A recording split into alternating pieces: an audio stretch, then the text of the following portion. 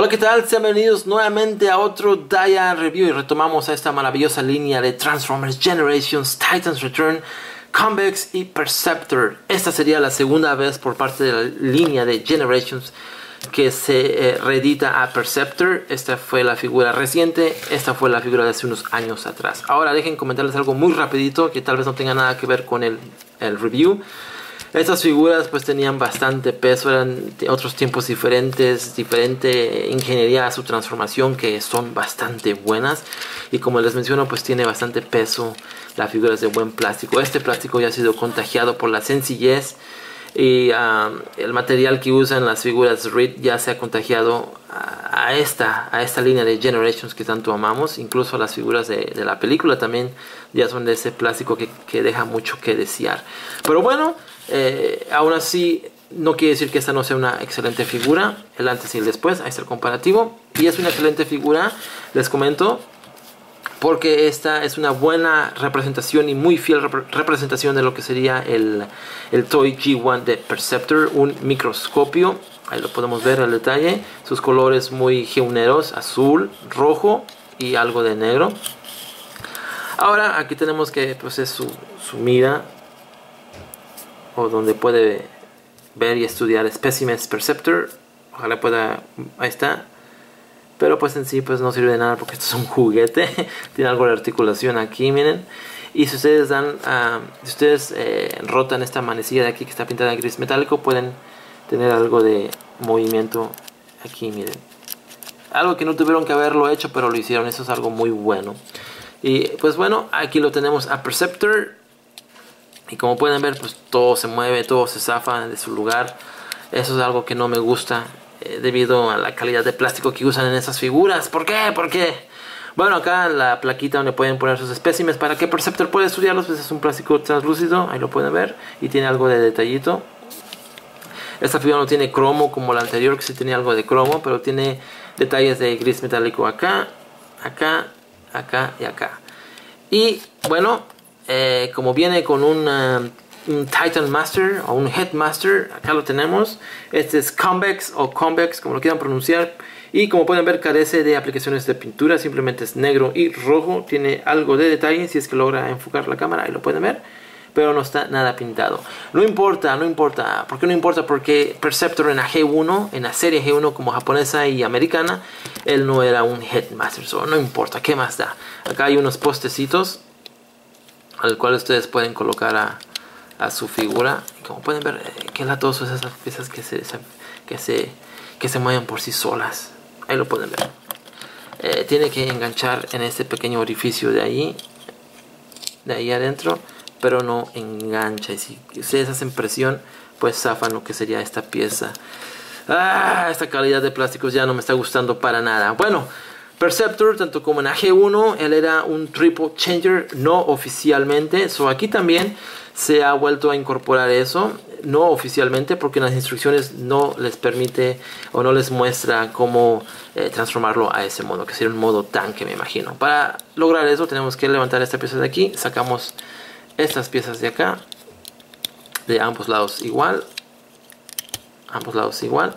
Tendríamos que bajar esto nuevamente hacia abajo y teníamos que separarlo de aquí pero como ustedes pueden ver se separa por sí solo y eso simplemente lo rotamos eh, de esta forma hacia adelante. Nuevamente de aquí lo rotamos hacia adelante de esta forma y tendríamos que volver a encajarlo en este orificio de acá lo cual pues no sirve de nada porque no lo hace. Y esto tenemos que hacerlo hacia abajo de esta forma y hacer esto hacia adelante. Y como pueden ver ahí tenemos que tiene unas oruguitas que no rotan pero por la parte de abajo podemos ver acá unas llantas de plástico translúcido aquí y dos acá pero tampoco eso lo ayudan a rotar simplemente están ahí eh, no están moldeadas porque si rotan acá miren pero están tan escondidas que no permiten la rotación en sí mismo. Qué lástima. Y acá pues pueden y poner a, su figura o, a cualquier Titan Master para eh, eh, no sé para interactuar y si no quieren ahí pues pueden volver a colocarlo acá ahora Perceptor también eh, trae una arma Ahí lo pueden ver que puede ser colocada básicamente en cualquier puerto que sea disponible. Acá o acá abajo. Y el cual también sirve para colocar a su Titan Master. Ahí lo pueden ver. Esto es más que nada para interactuar con Fortress Maximus. Porque no le veo, no le veo el porqué para Perceptor. Eh, también puede ser colocado acá, como les repito. de esta forma.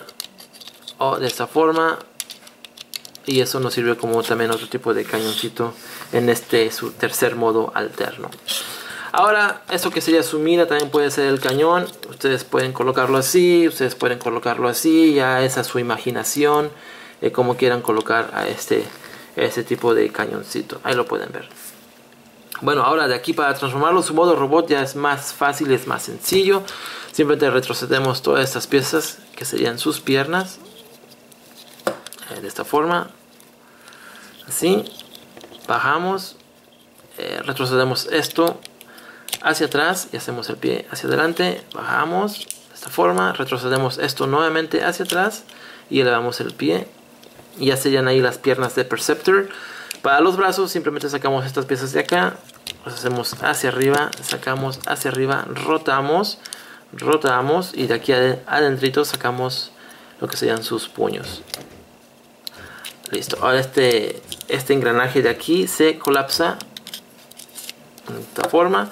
Esta pieza de aquí tenemos que moverla hacia su derecha. O hacia la derecha pues aquí en el video. Ahí lo podrán ver. Y esta pieza de aquí pues colapsa ahí. A veces hace clic, a veces no. Todo debido a ese plástico que usan hoy día en las figuras. y como pueden ver pues no tiene estabilidad. No tiene mucha estabilidad por desgracia. Solo que yo hago para darle estabilidad, volver a sacar esto hacia afuera para poder darle estabilidad a la figurita. Como pueden ver, todo se mueve. Está muy floja mi figura, me vino muy floja de fábrica, parece que fue transformada miles de veces. Bueno, vamos a colocar su cabeza de Perceptor. Ahora sí, colapsamos esto de esta forma y aquí tenemos ya a lo que sería Perceptor. Vamos a hacer un acercamiento rápidamente. Ahí lo tenemos. Eh, ahí está, Perceptor. No tiene articulación que no tienen esto colocado hacia adelante porque estorba. Para su articulación tienen que mover eso hacia adelante para poder darle articulación a su cabeza.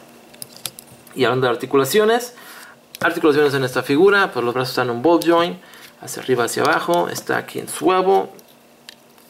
Y la manita debido a la transformación. No hay nada en la cintura, pero las piernas están totalmente articuladas. Y eso es algo muy bueno y es articulada de aquí debido a la transformación. So, no hay nada en la cintura, so no intenten, la van a romper. Y, y bueno, caballeros, acá tenemos a Perceptor en toda su gloria. Una comparativa bien rápido con lo único que tengo a la mano. Eh, la figura de la película. Aquí tenemos a Barricade, clase deluxe, clase deluxe, está un poquito más alto. Y ahí se cayó. Eh, su arma se la pueden colocar si ustedes gustan. ¿Por qué no? Ahí está. Eh, pero pues a mí no me gusta, hay que quitársela. Y como pueden ver, esto da mucha lata. Ah, qué cosa, qué cosa, en verdad que sí. ¿Cómo hacen esto con la famosa y gloriosa línea de Generations que muchos de nosotros queremos? Eh, hay algo que tengo que mencionarles. Si se dan cuenta, aquí hay un pin en la pierna. Eh, a mí se me vino empaquetado de default o de fábrica de este lado. Lo cual pues no importa para la pierna porque pueden rotarla de cualquier forma. Pero yo pienso que se ve muy mal. Soy yo lo roto hacia atrás y vuelvo a dar vuelta a la pierna y pues ahí está la pierna sin ningún problema eh, en sí en sí es muy buena la figura es muy muy buena la figura no no puedo ah, quejarme o decir mucho porque pues es, muy buena la figura. Nuevamente su cañoncito ustedes pueden eh, rotarlo de esta forma hacia adelante está más largo para no sé algo de ataque una pose de ataque que le quieran dar o pueden regresarlo a su forma original e icónica que es de esta forma.